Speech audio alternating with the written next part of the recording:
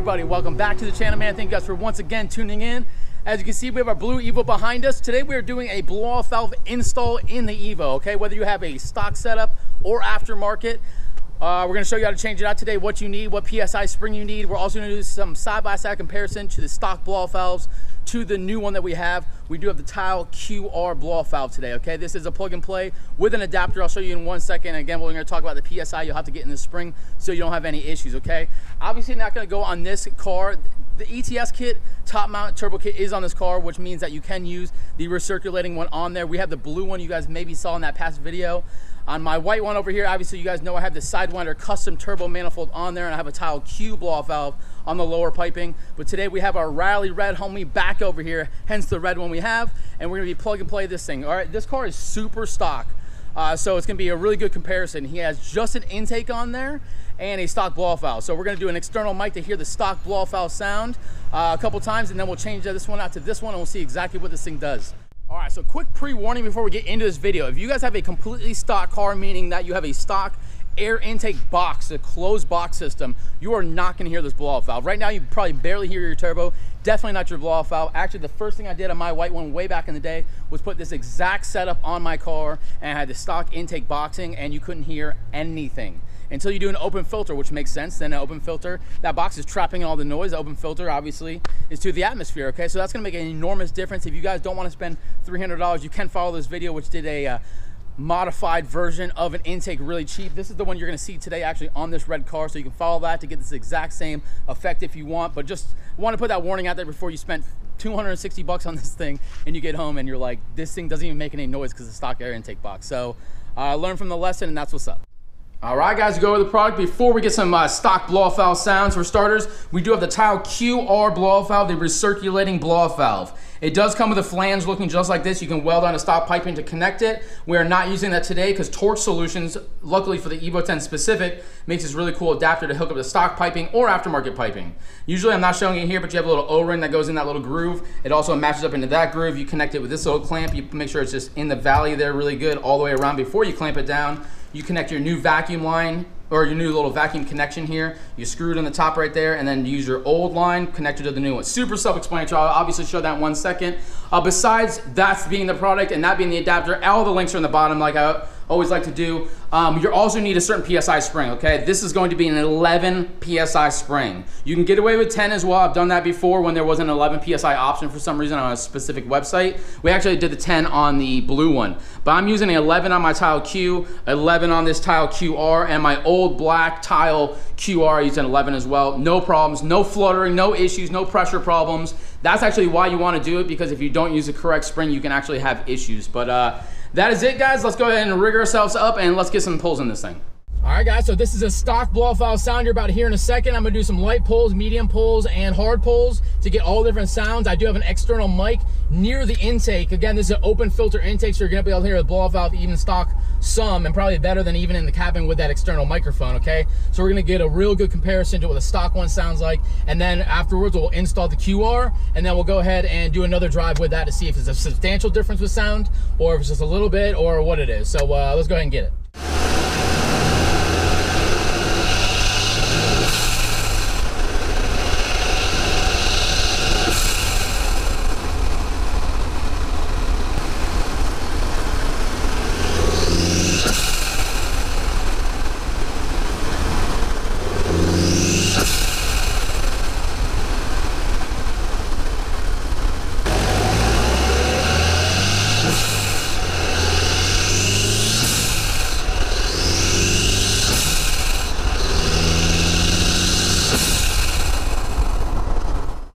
Right, guys, in product preparation before getting the engine bay. So this is the blow-off valve. These are the adapters. This is the actual gasket I was talking about earlier. You're gonna need to put in. Before putting on this top here, you're gonna wanna flip this upside down and you're gonna put it just like this. You'll take your little gasket and put it just in that little groove. Just like the Torque Solutions has, it has that little lip there. It should match up absolutely perfect to it just like that. Now with it being upside down and in place, you're gonna take your clamp. As you can see, I disassembled it by just unscrewing that Allen key and just sliding out the little locks that it had. Really nice and simple. Then you're gonna push this over here like this.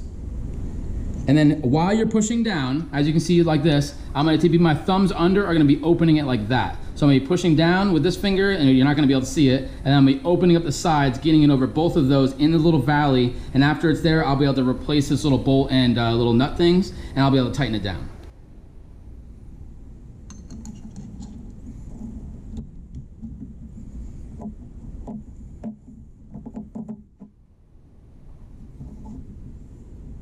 And there it is, guys. As you can see, that was nice and simple. Just a little pressure, opening it up, getting it over the grooves, and it is perfectly in line. So now I can go ahead and replace my pieces here.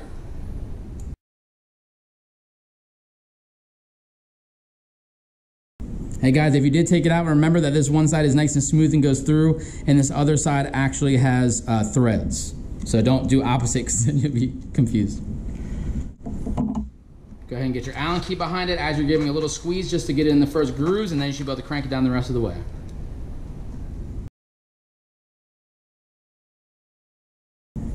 All right, perfect. And give it some more cranks. And remember, this is all aluminum, so you want to make, make sure it's super tight, but don't go absolutely ballistic on the stuff. There. Quarter turn, we're good. So this is the actual vacuum, okay? So you're just gonna slide this piece off like this. It has two washers up top. You're gonna keep one washer up top on there. You're gonna slide this portion back through and then put one of those washers on the bottom. Then you can go ahead and just put this in hand tight through the top. All right, so I will keep this thing hand tight for now. This does take a 10 on top, which I can crank down in a second. This is all aluminum, so when I do crank it down, I'm only gonna go all the way down and give a little quarter turn of about 10 pounds of pressure like because again it's aluminum. You don't need to over crank it but you know how to make sure it's tight enough okay? I'm to keep it just hand tight because when i get in the car i'm not sure if i want it facing this way or if i'm to want it facing the other way or what it is. So before i tighten it that's my suggestion so you can run the uh, vacuum line the cleanest all right, guys, so now your blow-off valve is all prepared with the Torque Solutions adapter on the bottom. Your gasket's in there, everything's clamped down. This is hand tight until we position it where we want to. Inside the engine bay, super easy to take out the stock blow-off valve. You'll only need to remove this 10 millimeter here, 10 millimeter here. Both those are Phillips on the top just in case. And then you just need some needle nose pliers to take off this little vacuum hose. That'll pop off right there, okay? Real nice and simple. I am replacing this vacuum hose, which is nine years old, with some new fresh silicone uh, hosing. You do not need to change that out to that. If you have any type of uh, wear to this, this is a nine-year-old hose, so if you have any type of wear to it, definitely change it out, but it's not 100% necessary. But that is what I'm gonna do today. So I already went ahead and loosened these up. You'll be able to pull your 10 out right off of the blow-off valve there, and then I have the bottom portion. And I'll be able to slide that out just like that. Whoa, dude, and that is it, man. Look at the size difference between this new TiAL QR and the stock original one. This should hold a higher PSI when we do get this car tuned very soon. Uh, plus, hopefully get some more cool sounds out of it. It came out just like it went in, guys. You're just gonna grab the bottom and put that portion in just like this. Like I said, that adapter is made specific for this. Make sure it's on nice and even. In a second, I'll clamp that down, and then we'll go ahead and shove this portion back in there. Do the same thing, clamp that down in a second, and then again, I'm gonna go ahead and pull off this vacuum hose and replace this with some new silicone hosing. All right, all right, so that is it, man. Two 10 millimeters, one there, one there, all clamped down, nice and simple. Now we'll be changing out the vacuum hose. As I said, I already have it actually connected and ran back the silicone one.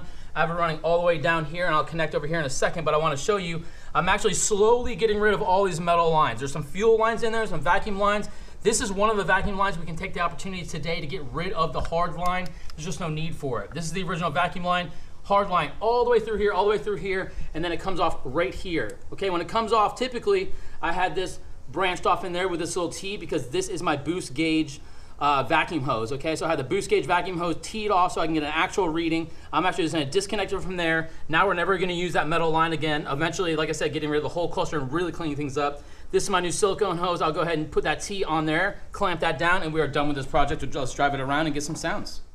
All right, back in the car to go ahead and get our sounds for the TiAL QR blow-off valve in comparison. Uh, the external mic is hooked up in the same spot, so we should get some really good sounds and we can compare that side to side. Also, if you guys didn't notice earlier, we were running a weird boost number where to get up to boost and lose some. Uh, there was definitely a boost leak or something going on. I checked everything and I found the problem was actually a cracked vacuum hose. It was really badly cracked and it needed to get changed out. So I changed that out. We should be good. This is a test drive on that slash all the sounds. So let's go ahead and get it.